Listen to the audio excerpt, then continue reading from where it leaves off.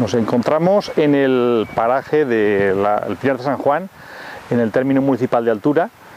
Eh, hoy vamos a hablar de, una especie, mm, la especie más, importante, más representativa del bosque mediterráneo. Es la especie más abundante en la, península ibérica. También en la comarca, mm, lo que ocurre es que debido a la acción antrópica, la acción del hombre, pues, mm, pues está muy reducido y prácticamente se limita su presencia a los matorrales secos y casi prácticamente aislada determinadas zonas de, la comarca, sobre todo en la parte superior, la parte del Toro, la parte de Barracas, Pina, por la parte más inferior pues suele ser más escasa. Esto no, no, quita que no sea la especie que debería de estar en este territorio, lo que ocurre es que como he dicho anteriormente, bien por acción del carboneo, o bien por en épocas anteriores, o bien por las repoblaciones que se han hecho sobre pino, pues ah, se ha quedado prácticamente muy reducida. Mm, el pino es un árbol de más mm, crecimiento más rápido, de punto de vista de interés maderero más importante. La carrasca es de crecimiento más lento, lo que sí que ocurre es que los, bosques de carrasca, los carrascales, son mm, mucho más de más riqueza en biodiversidad, tienen un sotobosque más rico, mm, también permite pasar más fácilmente la luz. De hecho, un, pinar es, mm, digamos, más pobre en, especies, prácticamente se limitan a unas aliagas y poco más, romeros, tomillos. Eh, como he dicho, eh, vamos a hablar de, la carrasca. El nombre científico es Quercus rotundifolia. Mm, el nombre es Quercus rotundifolia, pero correctamente sería el Quercus ile subespecie bayota, y esto es debido a que en un principio se pensaba que habían dos especies,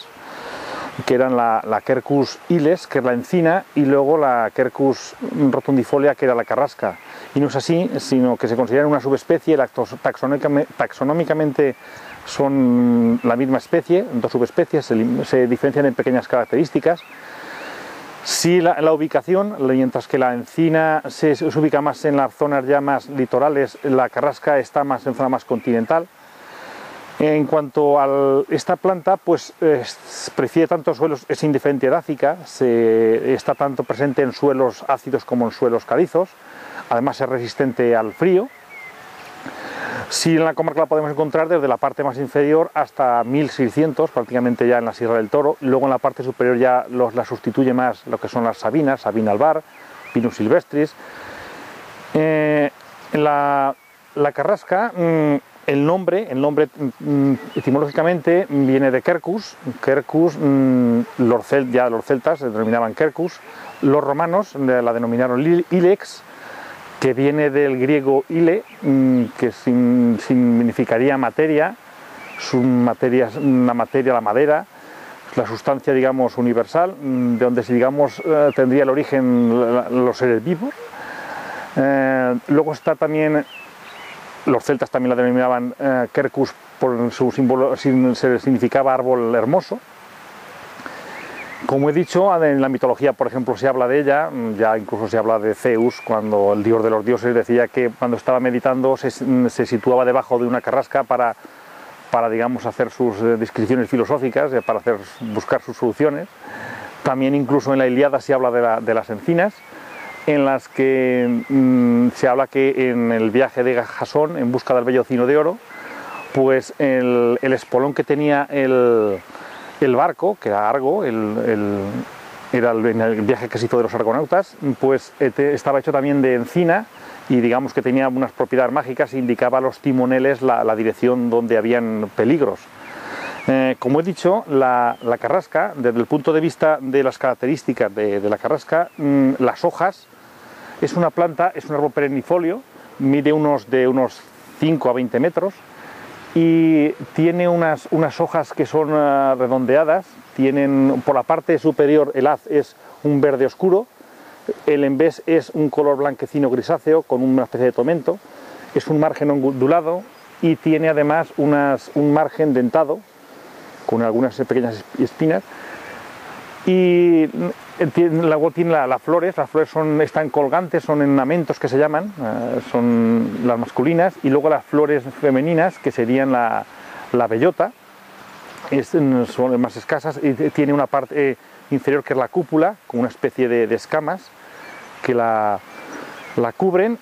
La bellota suele ser de un color verdoso, mm, posteriormente pasa a tener un color marrón,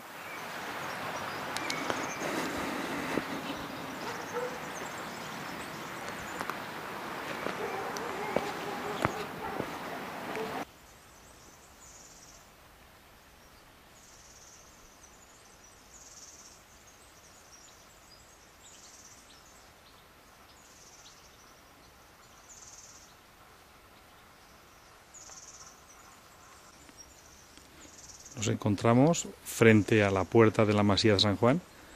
Podemos observar un precioso ejemplar de Quercus rotundifolia.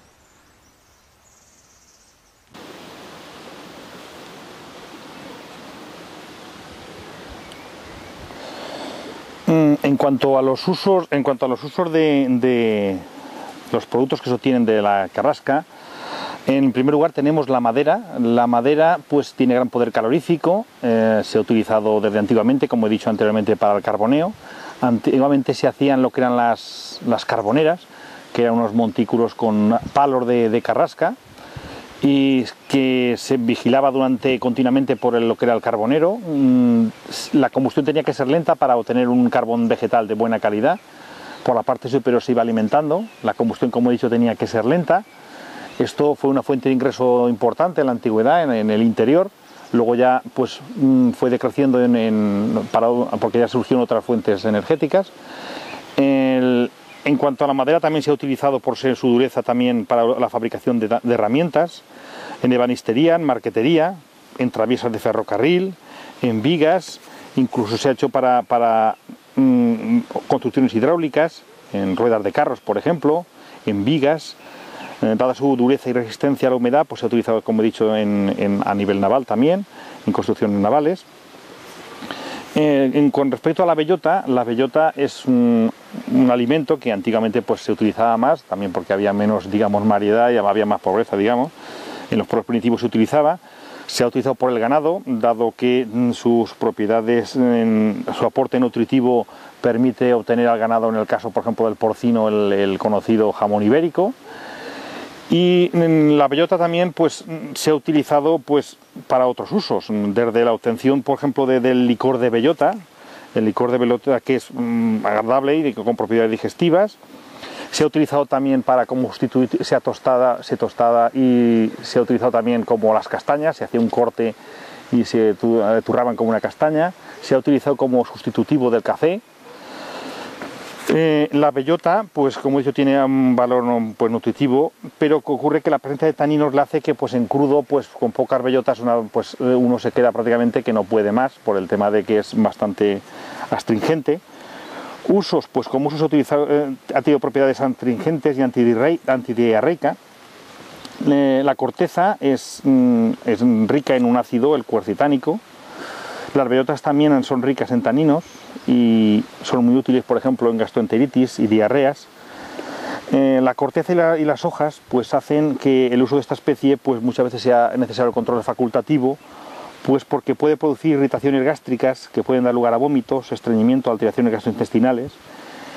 El quercus también se ha utilizado, en la, como he dicho, en la ganadería vacuna, mm, las bellotas y en, en, ovino también, lo que puede, dar lugar a síndrome hematúrico, glomerulonefritis o gastroenteritis, incluso edemas, sobre todo si se ingieren en grandes cantidades. Antiguamente las bellotas se, utilizaron para la producción de, harina, se hacía la harina, se, secaba y se preparaba la harina, se machacaba en un mortero, se permitía la obtención de pan mezclándose con otros cereales, por ejemplo el, trigo, y también se ha utilizado para la fabricación de lo que eran las tortas de, de bellota, muy conocidas antiguamente, que se trituraba en un mortero mezclando con harina, el agua resultante y un poco de leche hasta obtener una masa compacta que se aplanaba y se freía pues, en una sartén. Tras dejar enfriar la torta, pues se obtenía, se espolvoreaba con azúcar y se rociaba con un poco de miel y esto hacía pues en aquel momento pues donde los alimentos eran poco variados digamos en la antigüedad pues los niños sobre todo eran más muy apreciados pues porque suponía una comida distinta al resto. Pero bueno desde el punto de vista alimentario pues la, bellota hoy en día está su uso es prácticamente irrelevante. Es más pues la importancia de la carrasca es fundamentalmente de tipo ecológico por lo que representa en, la, en, la, en la flora pues porque enriquece